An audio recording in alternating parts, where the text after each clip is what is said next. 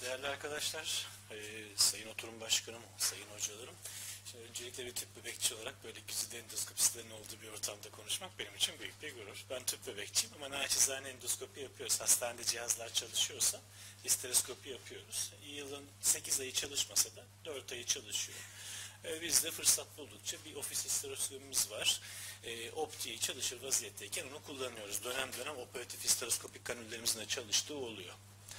Ee, şimdi konum iki başlıktan oluşuyor. Polipektomi ve tubal kateterizasyon, kanülasyon konuları. Şimdi isterseniz bölüm 1 ile başlayalım. Histeroskopik polipektomi. Ee, ben biraz böyle teknik konularda e, sunum yapmayı e, böyle yoğun bir bilgi aktarımını severim. Bazen e, şey olabilir, dinlemesi zor olabilir ama naçizane bu da benim tarzım. Aklınıza sığınıyorum şimdiden. Polipler endometriyal stroma ve glantların lokalize halde aşırı büyümüş hali. %7.8'de %35'e kadar çıkabiliyorlar oldukça sık kadınlarda. Yaş gruplarında toplumda e, semptomlarla ilişkili, kilo, ya pek çok sebeple ilişkili olarak e, yaygın olarak göz, gözükebiliyor polipler. Ve poliplerin e, hem premenopozal dönemde hem postmenopozal dönemde tanısında ve tedavisinde altın standart histeroskopi. Hele bir de bunu ofis şartlarında yapıyorsanız hem görüp hem tedavi ediyorsanız o zaman bunu bir altın basamak olarak adlandırabilirsiniz. Ama polip ektomi e, konusundan bahsederken önce bütün polipleri eksiz etmemiz gerekiyor mu onu bir değerlendirelim. Tüm polipleri gördüğümüz tüm polipleri çıkartacak mıyız? Biz genellikle klinikte biraz polipektomiye yatkınız. E, sıklıkla çıkartıyoruz ama hepsini çıkartmak zorunda değilsiniz. Özellikle e, genç kadınlarda bir buçuk santimetreden küçük poliplere eğer asemptomatikse herhangi bir semptomayı açmıyorsa illa çıkartacaksınız diye bir şey yok. Bunu savunanlar histeroskopinin komplikasyonlarından bahsediyorlar. Sıvı defisinden bahsediyorlar. Rüptürlerden bahsediyorlar. Her zaman e, bu riskleri göze alamayabilirsiniz diyorlar. E, polipler kaybolabilir de üçte biri premenopozal dönemde poliplerin üçte biri bir yıla spontan regresyon gösterebiliyor. Ya da hiç spontan regresyon göstermese bile poliplerin %90'ı asemptomatik poliplerin %90'ı yıllarca asemptomatik kalmaya devam ediyor. Onun için tüm polipler eksiz edilmesi gerekiyor diyemem. Ama eğer bir klinik semptoma yol açıyorsa, infertiliteye yol açıyorsa ya da malinite olasılığı varsa o zaman poliplerin polipektomisi histeroskopik yoldan polipektomisi tabii ki gerekli.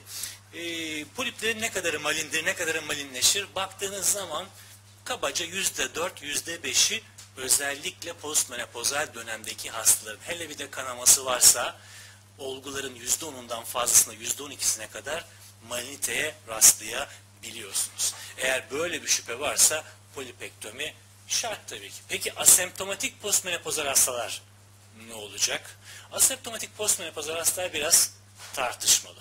Onlarda prekanseröz lezyon olasılığı yüzde 1.6. Bunun malin olması, kanser olma olasılığı da binde üçler civarında. Asemptomatik hastalarda.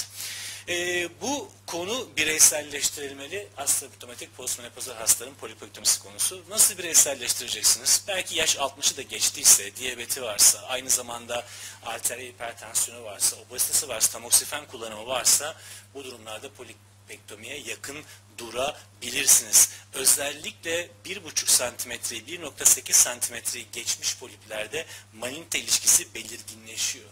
Bu poliplerde de polipektomiye yakın durabilirsiniz. Peki infertil olgularda tüm polipleri eksiz ederim mi? Açıkçası polipektominin gebelik başarısını arttırdığını biliyoruz. Doğal sikluslarda da, IUI sikluslarında da tartışmalı olmakla beraber IVF sikluslarında da gebelik oranlarını arttırıyor gibi duruyor. Şimdi polipler kronik inflamasyon nedeniyle reseptiviteyi bozabilir. Resepti, e, proteomik ekspresyonu, genomik ekspresyonu değiştirebilir. Tubokornu alanda mekanik etkiler de yaratabilir. Bu nedenle infertilitede bir rol oynuyor olabilir. Lakin e, bu konuda hala bilgi açığımız, bilgi eksikliğimiz var. Şimdi 2 santimetreden küçük polipler infertilite üzerine etki etmiyor. Olabilir. Ya da 1,5 santimetre son yayınlarda. E, lakin yapılan polipektomiler gebelik oranlarını arttırıyor. Özellikle aşılama sikluslarında bununla ilgili elimizde daha iyi veri var. Kovran, Kovran e, verisi var ve 4 kata yakın IUI öncesi polipektomi yapmak 4 kata yakın gebelik oranlarını iyileştirebiliyor. Öyleyse böyle bir durumda polipektomiye yakın durabiliriz. Ama IVF öncesi polip tespit edersek polipektomi için elimizde yeterli kanıt yok. Lakin tekrarlayan tüp bebek başarısızlığı olan hastalarda polipektomi den sonra yeni bir IVF'de başarının arttığını biliyoruz. Şimdilik eldeki verilerle tekrarlayan IVF başarısızlığı olan hastalarda polipektomiyi size önerebilecek durumdayız. Peki histeroskopik polipektomiyi yaptınız. Ondan sonra tüp bebeğe ne zaman başlarsınız? Polipektomiler çabuk iyileşiyor. Bir ay sonra bir ikinci bakış histeroskopisi yapın. %86 tam olarak iyileşmiş oluyor. Onun için polipektomiden hemen sonra IVF tedavisine başlayabilirsiniz. Miyomektomilerde bu oran %18. Birinci ayda da başlasanız, ikinci, üçüncü ayda başlasanız, üçüncü aydan sonra da başlasanız gebelik oranları değişmiyor. Lakin ne kadar beklerseniz polibin tekrarlaması olasılığı o kadar artar. Onun için ilk birinci ay ile üçüncü ay arası IVF için uygun gözüküyor. Tüp bebeğe başladınız ve o zamana kadar fark etmediğiniz bir polip olduğunu gördünüz. Polipektomi yapalım mı? Bırakalım mı? Transfer yapalım mı? Dondurup saklayalım mı? Aslında eldeki verilerle polipektomi yapmakta da bir sakınca gözükmüyor. Yani tüp bebek tedavi siklusu sırasında histeroskopik polip rezeksiyonu yapmışlar ve devam etmişler siklusa. Transfer de yapmışlar. Gebelik oranları gayet tatminkar. Lakin polipektomi ile embriyo transferi arasında 5 günden kısa süre olduğunda gebelik olmadığını görmüşler. Gebelik oranları polipektomi ile ne artmış ne azalmış. Diyorlar ki tüp bebek tedavisi sırasında polipektomi ile uğraşmayın. Siz tüp bebeğinize devam edin. İster transfer yapın, ister dondurun. Ama polipektomi yapmanız size bir fayda sağlamayacak. İşte bu, bu da bir başka çalışma. Ee, burada kontrol grubunda polibi olan hastalar yok yalnız. Kliniğin e, benzer şartlardaki bir karşılaştırma grubu var. O grupta yüzde 41, dondurup sakladıkları grupta yüzde 63. Şu elimizdeki verilerle IVF sırasında polip tespit edersek embriyo transferine devam edebilirsiniz ya da embriyo dondurup saklayabilirsiniz. Bu yaklaşım uygun gözüküyor. AGL'nin bir 2012 pratik guideline'ı var. Özetleyecek olursak hangi polipleri çıkartmamız gerektiğini. Küçük asemptomatik poliplerde konservatif yaklaşımın makul olduğunu söylüyor bize AGL. E, medikal tedaviyi önermiyoruz diyorlar. E, farklı tek polip tekniklerinin klinik sonuçlarının benzer olduğunu söylüyorlar ve postmenopozal kadınlarda da eksizyona yakın vurulmasını, infertil kadınlarda da e, polipektominin yakın vurulması gerektiğini bize tavsiye ediyorlar. Şimdi hangi polipleri çıkartıp hangilerini çıkartmayacağız konusunda kabaca bir fikir sahibi olduktan sonra polipleri nasıl çıkartabiliriz? Bu yöntemlere değinelim. Asıl konumuz zaten bu. Şimdi biraz önce e, Gazi Hocam'ın da bahsettiği gibi polibi çıkartırken bir dilatasyon küretaj yapabilirsiniz. Gerçi biraz rekürens oranı var %15'ler civarında. Ama olur ya da şunu yapanlar var. Histeroskopik olarak girmişler, polipi teşhis etmişler. Ama diagnostik histeroskopi yapıp ardından küretaj yapmışlar. Bunu da yapanlar var. Ya da e, elinizde yeterli teknik cihazlar varsa rezekte edersiniz polibi. Neyle? Monopolar sistemlerle. E, olur monopolar rezekteskopta olur. Makasla olur. E, ya da morselatörle olur. Ya da bipolar sisteminiz vardır. Lazer kullanabilirsiniz. Bu yöntemlerden birini tercih ederek polibi çıkartmak mümkün. Bunu ofis şartlarında tercih hani en küçük cihazlarla, en küçük çaplı cihazlarla ofis şartlarında yapmak iyidir. Ama e, büyük polipler, uzun sürecek işlemler ameliyathanede yapılabilir elbette. Sadece kürtaj yeterli mi? Yeterli gözükmüyor. E, 25 polip olgusunda iki tanesini tam olarak alabildik demişler. Onun için biz altın standart olan histeroskop ile devam edelim. Polip cihaz çıkartılması öncesi bir endometrium hazırlığına gerek var mı? Biz klinikte yapmıyoruz. Yani hani bu polip ameliyatlarını erken proliferatif faza denk düşürebilirsek, öyle bir imkanınız varsa, e, özel bir hazırlığı biz yapmıyoruz ama yapılabilir. Yapanlar Dianagest, Nomogestrol, asetat, oral dezogesteral ile beraber orexifen kullanmışlar. Ve sadece 10-14 günlük kullanımda endometriumun litri kadar baskılanıp polibin rahatça çıkartılabilecek hale geldiğini güzel bir görüş elde edebildiklerini bildirmişler. Dediğim gibi genelde pratikte kullanan var mı bilmiyorum ama biz şu anda kullanmıyoruz. Bir bilgi olarak aklınızda bulunsun.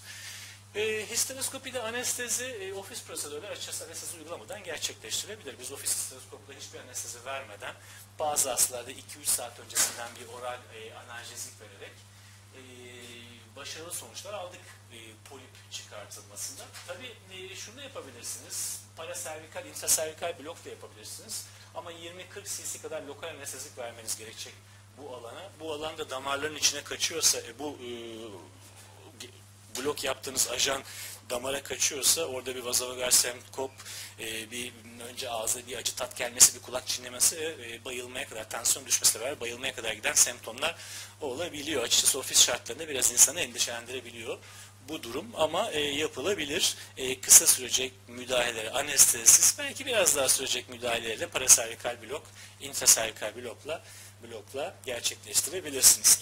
Sonuçlar benzer mi? Gerçekten benzer. Anestezi ile anestezisiz arasında ağrı skorlarında da polibin tam olarak çıkartılması konusunda da sonuçlar benzer gözüküyor. 4 santimetrenin altındaki poliplerde ofis isteroskopi ile e, başarı elde etmek mümkün olabilir. Bu e, ama bunu geçen poliplerde açıkçası işlem uzuyor, ağrı ihtimali artıyor. Biraz daha ameliyathane şartlarında anestezi, genel anestezi altında müdahale yapmaya yakın durmamız gerekiyor. Şimdi aletler küçüldükçe küçüldü. Her şeyin daha küçük küçük çıktı. Küçük morsalatörler, küçük monopolarlar, küçük bipolarlar. Bu iş artık son dönemde e, bu rezektoskop boyutları 16 French'in altına düştü. 4-5 milimetre ve daha altında. Bunlar da başarılı sonuçlar alabilirsiniz. Yani çok küçük aletlerle polipektomiden çekinmenizi getirecek bir şey yok. Çünkü 190'ların üzerinde tek operasyonda başarılı sonuçlar bildiriliyor mini aletlerle. Özellikle serviksi uygun olmayan, serviksi dar, stenotik geçmekte zorlanacağınız hastalarda e, mini işler, e, mini operatörlerle, mini e, aletlerle güzel sonuçlar alabilirsiniz. Memnuniyette artacaktır hem hasta için hem de sizin için. Şimdi polip çıkartılmasındaki yöntemlere biraz daha ayrıntılı bakalım. Makas kullanabilirsiniz. Yakalama forsesi çekebilirsiniz. Unipolar, monopolar, e, rezektoskopla, bipolar sistemle ya da morselatörle polipin hakkından gelebilirsiniz. Şimdi kendi videolarımız değil çünkü bizde uzun yıllardan beri e, bu video monitorizasyon kayıt sistemi çalışmıyor. Pardon özür dilerim. Onun için size YouTube'dan e, birkaç video almak zorunda kaldım. Ben de böyle olsun istemezdim ama çaresiz kaldım. Çünkü teknik şartlarımız üniversitemin ismini söylemeyeyim ama biraz yetersiz. Bakın güzel bir makasla e, herhalde bir santimetreden küçük bir polibi kökünden sapından eksize ederek çıkartmak. Sonra bunu yakalama forsepsiyle uterusunun dışına, sergisin dışına almak mümkün gözüküyor. Tabi kendi videolarımı çekemeyince sevgili Hasan'dan yardım istedim. Hasan da kendi hastanedeki bipolar sistemle yaptıkları bir polip rezeksiyonunu gönderdi bana. Bakın kaviteyi değerlendiriyor. ince bir bu endometrium hali var. Ya postmenopozal dönemde ya da belki de çok erken politif fazla ya da bir şekilde baskılanmış bir endometrium bu. Polipi lokalize ettikten sonra bipolar sistemle karşıdan başlayıp kendine doğru çekerek, ileriye doğru iterek yaptığınızda biraz perforasyon riskiniz olabilir. Kendinize doğru çekerek yaptığınızda polibi e, başarıya çıkartma olasılığınız daha iyi gibi gözüküyor. İşte bipolar sistemde bu şekilde. E, bir de morselatör videom var. Bu morselatörler gerçekten eğlenceli sistemlere benziyor. Özellikle seyretmesi beni çok eğlendiriyor. Bilmiyorum sizler bakın. E, bunun böyle küçük küçük küçük küçük küçük diş darbeleriyle polibi bir anda ortadan kaldırması e, gerçekten güzel bir görüntü, eğlenceli bir görüntü. İnşallah bir gün e, bizim hastanemize de kısmet olur ama tabi bayağı pahalı, oldukça pahalı. Şimdi bunu alacaksınız, sadece küçük polipleri çıkartmak için kullanacaksınız, küçük miyomlarda kullanacaksınız, başka nerede kullanılır, septumlarda da kullanmışlar aslında ama bunun biraz zor olduğunu düşünüyorum ben. Ee, hani çok çabuk yaygınlaşacağını düşünmüyorum ülkemizde. Yakalama forceps'i dediğim gibi forceps'le yakalayıp da çekebilirsiniz. Ee, baktığınız zaman yöntemlere birbiriyle karşılaştığınız zaman yöntemler arasında başarı konusunda çok çok çok büyük bir fark yok. Süre konusunda biraz farklılıklar var.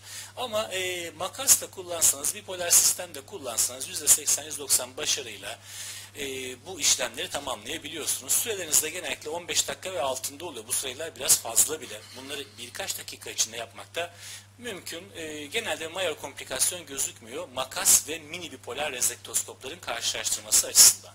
Monopolarla bipolar sistemi karşılaştırdığınız zaman, monopolarla mı çıkartalım, bipolarla mı? e, bipolar tabi bazı teknik avantajlar sağlamakla beraber hani araştırmalar tamamen bizi bipolar sistemin avantajları konusunda ikna etmiş değil. Baktığınız zaman 2 santimetreden büyük polipler ve fundusa yerleşmişse eğer monopolar rezektoskopik sistemlerle 2 santimetreden küçük polipler ve non-fundal yerleşmişse bipolar elektroprobe'larla çıkartılması genel bir tavsiye e, kapsamında karşımıza çıkıyor. Morse elevatörler genelde işte bu meşhur trik, trik e, clear e, sistemi sıklıkla kullanılıyor. Avantajı loop elektrotlar gibi gaz baloncu oluşturmuyor ortamda.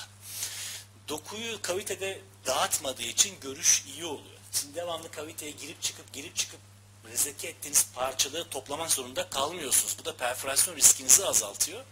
Lakin açık damar uçlarını yakmıyor ama bu polipektomilerde çok bir sorun olmuyor açıkçası. Belki miyomektomilerde sorun oluyor olabilir. Bir de şöyle bir avantajı var. Öğrenmesi kolay. Bir öğrenme eğrisi tariflenmemiş. Yani alan, başlayan Morse editörü başarıyla kullanıyor. Asistanlığın eline verseniz bir kere gösterseniz ondan sonra e, başarılı cerrahlar gibi e, güzel ameliyatlar gerçekleştirebiliyor polip konusunda. Bunun elimizde bir e, meta analizi de var. Meta analizde süre olarak yani morselasyonla genellikle 4 dakika, 6 dakika, bipolar sistemlerle 16-17 dakika. Arada yaklaşık 10-12 dakikalık farklılıklar oluşuyor. Tabi bu bize ne avantaj sağlıyor? Sıvı defisitiniz oldukça az oluyor şu anda morselatör sistemlerle. Onun için araştırmalara baktığınız zaman şu anda morse, polip çıkartılmasına morselasyon en ön planda gözükürken hemen ardında monopolar, bipolar sistemler geliyor. Baktığınız zaman başarı hafifçe daha yüksek. Komplikasyonlar, cerrahi komplikasyonlar çoğu zaman benzer. E, ofis şartlarında, e, hastane şartlarında da oldukça düşük. Ofis şartlarında bu girçiklerden dolayı biraz servikal travma tariflenmiş e, bipolar sistemlerde. E, lakin e, biz hani başarıyla kullanıyoruz. E, şu anda ülkemizde yaygın olarak bipolar sistemler kullanılıyor. Lazer kullanımı az ama lazerle ilgili e, veriler de gelmeye başladı. İkisi 2-2,5 santimetreden küçük poliplerde başarıyla polipektomi yapmanız mümkün gözüküyor bu lazer sistemlerle. E, ofis şartlarını da başarılı, hasta memnuniyeti yüksek ve ikinci bakış histeroskopilerinde de polipin relapsı oldukça düşük gözüküyor. E, lazer polipektomi operasyonlarından sonra. Polipi çıkarttınız, dışarıya alacaksınız. Belki parçaladınız, bipolar sistem, monopolar sistem kullanıyorsunuz. Parça parça dışarıya alabilirsiniz. Ama böyle basket kateterler de var.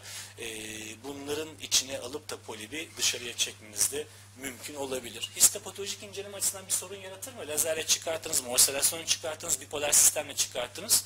Histopatolojik inceleme açısından bir sorun yaratmıyor kullandığınız elektrik enerjisi. Tamam bir miktar termal inciri var. Yok değil ama hani sonucu değiştirecek bir problem gözükmüyor. Komplikasyonları oldukça düşük. Diagnostik histeroskopilerden sonra en düşük komplikasyon olasılığı polip rezeksiyonlarında gözüküyor. Onlar da sıklıkla işte işleme giriş esnasındaki uterus perforasyonlarından kaynaklanıyor. Ha ölüm yok mu? Var. Ölüm var ama bu olgu mesela bir malinit olgusu, bir kanser olgusu, uterus rüptürü olmuş, perfor olmuş.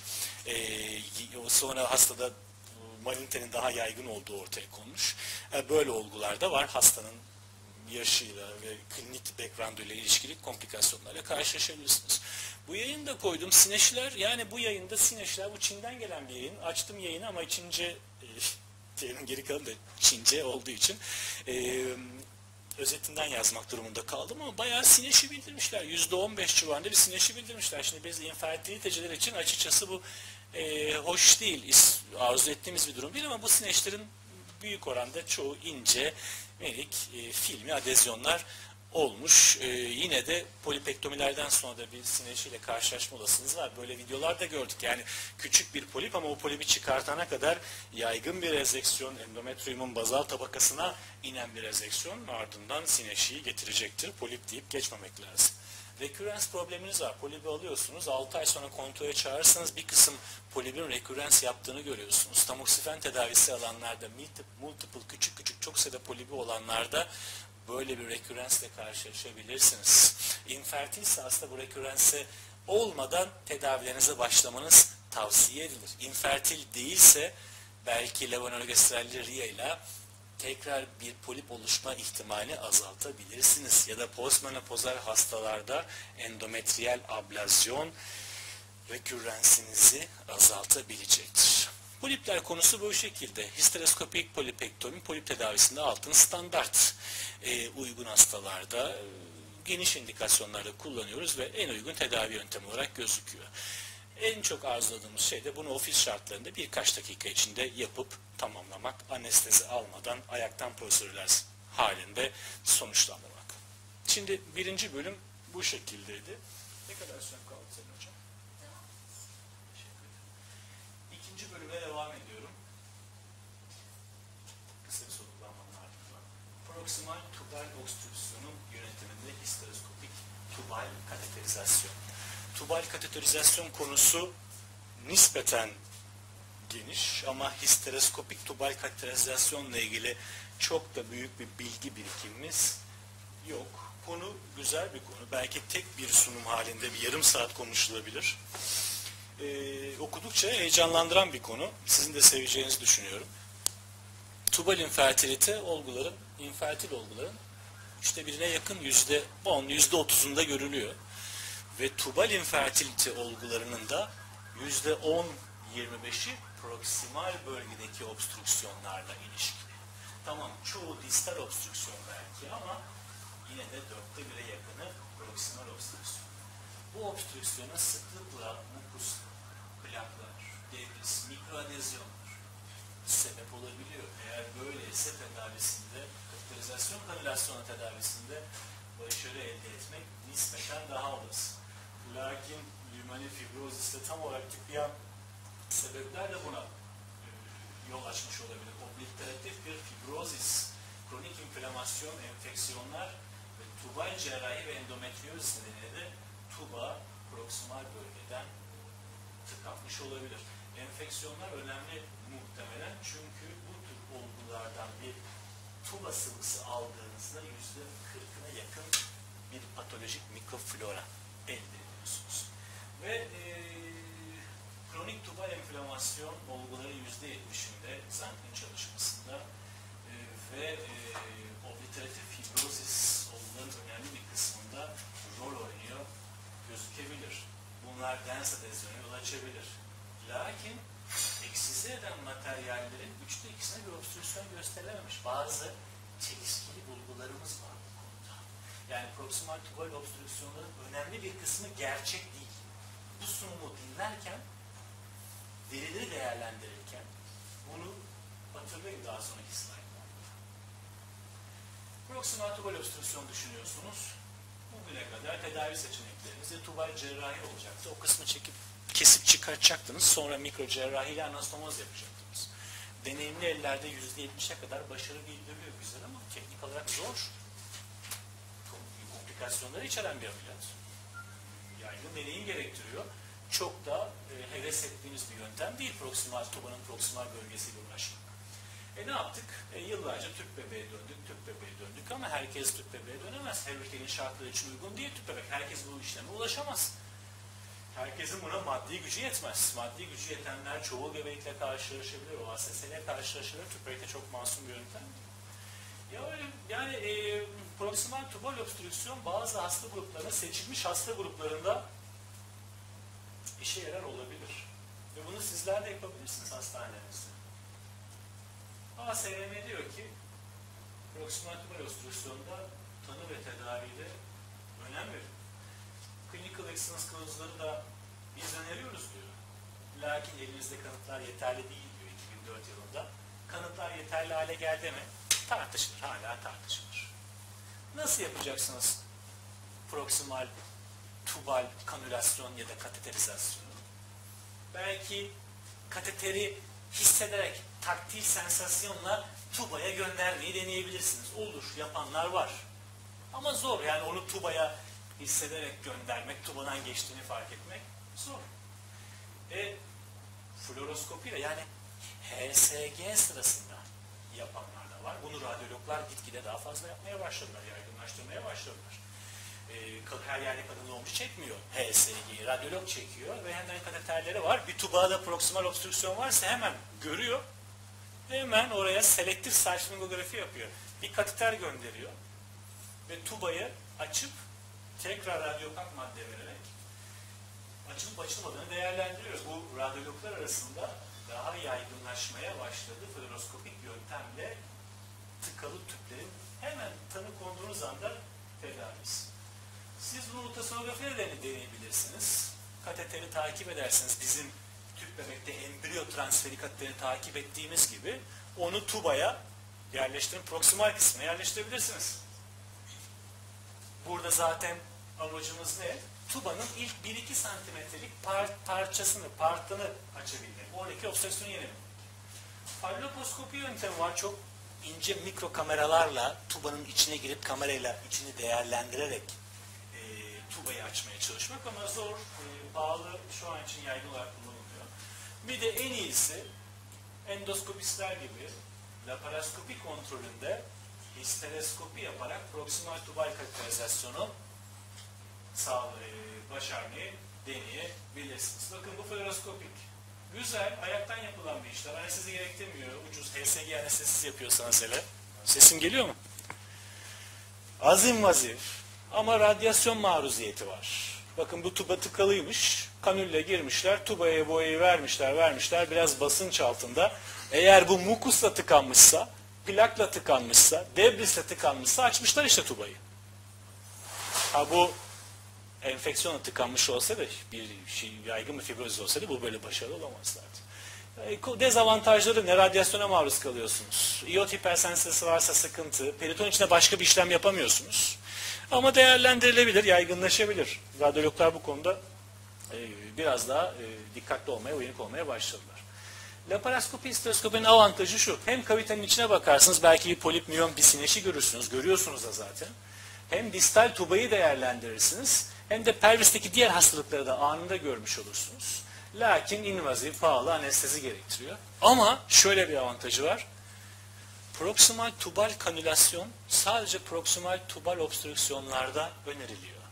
Distal tubal obstrüksiyonlarda, distal patolojilerde önerilmiyor. Yani bipolar hastalıkta önerilmiyor. Zaten olguların da %63'ü bipolar hastalık. En azından bunu görmenizi sağlar laparoskopi.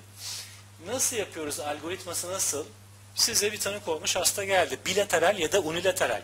Yani bir tüp tıkalı proksimalden. Diğer tüp açık olabilir. Sıkıntı değil. O da bizim hastamız. Ya da iki tüp de tıkalı. HSG filmi elinizde iki tüp de proksimalden tıkalı. O da bizim hastamız. Laparoskopiye aldınız. Önce metilen mavisini veriyorsunuz. Ya da indigo karmini veriyorsunuz. Bakalım tubalardan metilen mavisi geçecek mi? Gerçekten proksimal tubal obstrüksiyon mu? Sıklıkla proksimal tubal obstrüksiyon zannettiklerimiz gerçekte çıkmıyor. HSG'de bilirsiniz. Bir spazm olur tubalarda geçiremezsiniz bu eğri. Biraz basınçlı verin, hasta biraz ağrı duysun, geçiremezsiniz bu eğri. Ve bunların bir kısmının açık olduğunu görüyorsunuz. Metilen mavisi geçiş olduğunu görüyorsunuz bilateral. O hastalarda da proksimal tubal kanülasyon gereksiz. Baktınız laparoskopide de metilen mavisi geçmedi. Öyleyse o bizim hastamız. Bilateral veya unilateral proksimal tubal kanülasyon devam edeceksiniz. Eğer distal hastalık yoksa.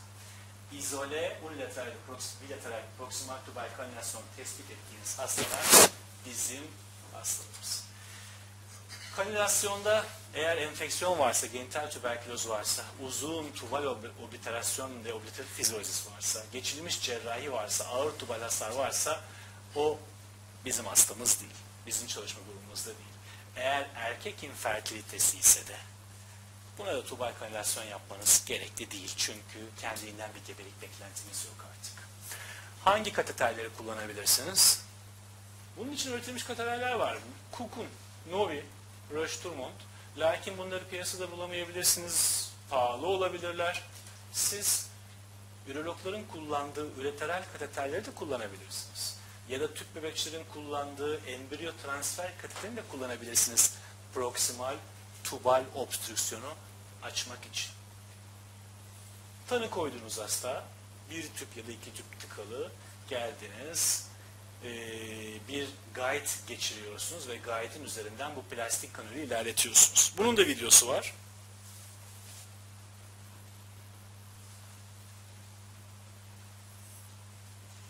Bakın bu noktaya kadar geldi. Guide'in içinde bir tel guide var. Üzerinde plastik kılıf var.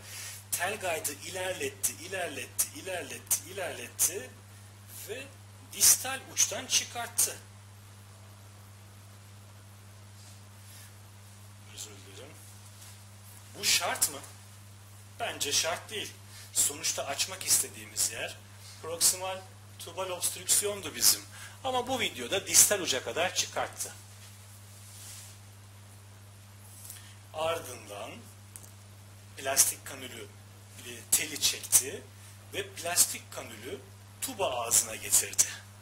Plastik kanül tuba ağzında ve metilen mavisini veriyor ve tüm metilen mavisinin tubadan geçişini seyrediyor. Ardından diğer tüpede aynı işlemi uyguluyor. Dediğim gibi amacımız şu 1-2 santimetredeki mesafedeki obstrüksiyonu açmak.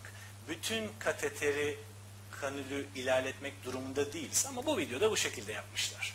Bu e, her zaman kolay olmayabilir. Mesela HS fluoroskopik yöntemle böyle bir şey yapamazsınız. Ultrasonla yapıyorsanız bunu yapamazsınız. Bu sadece laparoskopik gözlem altında deneyebileceğiniz bir şey. Sonra bunu geldiklerinde metilen mavisini buradan veriyorsunuz ve metilen mavisinin rahatça akışını hem histeroskopik hem laparoskopik yoldan görüyorsunuz. Bu yöntemle tüpleri açmak mümkün mü? Kapalı tüpleri açmak mümkün mü? Mümkün gözüküyor. Olguların yüzde 70'inde, fluoroskopik yöntemli olguların yüzde 75'inde tüpü açmak mümkün. Histerolaparoskopi ile olguların yüzde 66'sında tüpleri açmak mümkün gözüküyor. Peki bu tüpleri açmak bir şeyi değiştiriyor mu? Sonuçları değiştiriyor mu? Bize bir yarar sağlıyor mu? Yarar sağlıyor gibi gözüküyor elimizdeki literatürde. Tek tüp tıkalı olsa, tek tüp açık olsa bile diğer tüpün açılması bile yararlı gibi elimizde bilgiler var. Bakın bu hastalar infertil. Belki bir yıl, belki iki yıl takip edilmiş hastalar. 27 çalışma o, gebelik, e, gebelik olmamış hastalar ardından proksimal tubal kanülasyon gebelik oranları yüzde 27 civarında. İyi bir oran. O zamana kadar gebelik elde edilmiş hastaların yüzde 20'si gebe kalmış takiplerde. Tek taraflı obstrüksiyon hastaları çıkartın, bilateral obstrüksiyon hastaları alın. Onların bir veya iki tüpünden birini açın. Gebelik oranı yine yüzde 27. Bu da güzel bir oran. Canlı doğum oranları yüzde 22 civarında. İyi. Dış gebelik oranları da yüzde 4, bazı çalışmalarda yüzde 12. Biraz riskli. Dış gebelik yönünden yüzde 10'a yaklaşan çalışmalar var. Tanıyı HSG ile koymuşsanız ya da laparoskopi ile koymuşsanız laparoskopi de tanı koyduğunuz hastalarda gebelik başarısı %32'ye çıkıyor. Çünkü muhtemelen laparoskopi esnasında minik adezyonları da açılıyor, gebelik başarısı artıyor. Peki bu gebelikleri ne kadar sürede elde ediyorsunuz? Genellikle 6 ay 1 yıl arasında o gebelikleri elde ediyorsunuz. Proksimal tubal obstrüksiyonu açtıktan sonra 6 ay 1 yıl beklerseniz olguların %30'una yakını gebe kalıyor. Doğal yollarla ya da bir kısmı ovülasyon indiksiyonu artı ayıyla. Şimdi konu histeroskopik olduğu için histeroskopi çalışmalarına ayrıca bakalım. Burada 1, 2, 3, 4, 5, 6, 7, 8, 9 tane çalışma var. Histeroskopi çalışmaları da işlemden sonra yüzde 31 klinik gebelik oranı veriyor. Biraz önce söylediğim gebelik oranları klinik gebelik oranları. Klinik gebelik oranları. Üç çalışmaya bakalım. 2012, 2014, 2016. Bunların hasta sayıları nispeten fazla. Bunların hasta sayıları nispeten fazla. Bu çalışmaları değerlendirelim. 2012 Chunk'un çalışması. Gerçi o adenomiyozisleri de almış. Bir miktar e, erkek faktörleri de var işin içinde. E, iki hastada uterus perforasyonu görmüş ama kanülasyonu başardığı hastaların 40 hastadan 22'si gebe, onu doğal yöntem. Kanülasyonu başaramadığı hastaların 8'i gebe, ikisi doğal yöntem. IVF gebelikleri artmış bu hastalarda. Lakin her iki tüpü açamadığı hastalarda bile %28 oranında doğal gebelik bildirmiş çok. Ben tüpleri açamadım ama yine bunlar gebe kaldılar diyor. Gebeliğe ulaşma süresi yüzde, işte gebeliğe ulaşma süresi 10,5 Chung şuna da bakmış ya bu gebeliğe ulaşma süresi başarısız komplika, e, başarısız kanülasyonu belirten bir, bir parametre bulabilir miyim acaba? Bulamamış. Gebelikleri belirten bir parametre de bulamamış. Şurada bir e, diğer e, faktörlerin olmamasını biraz anlamlılığa yakın bulsa bile net olarak bir faktör tarifleyememiş başarısız kanülasyon ve başarısız gebelik sonuçları. Hayır yani HU'nun sonuçları biraz daha iyi. O laparoskop hiç müdahale yapmamış. Bunlar saf, izole, proksimal, tubal obstrüksiyon hastaları. Saf, izole. Ee, kanülasyon başına başarı %54, hasta başına başarı %61.9. Bu kadar hastanın tüplerini açabildim ben demiş. Gebelik oranları da tatminkar. Kendiliğinden gebe kalan hastalar 99'da 25. Bilateral açabildiklerine %39 gebelik oranı. Tek taraflı açabildiklerine %30 gebelik oranı. Hiç açamadıklarında %6 gebelik oranları bildiriyor. Canlı doğum oranları da %19, %18'ler. Ve bakın şuna dikkat çekmek istiyorum. Bir tarafı açık, diğer tarafı kapalı. O açık olan, e, kapalı olan tarafı açtığında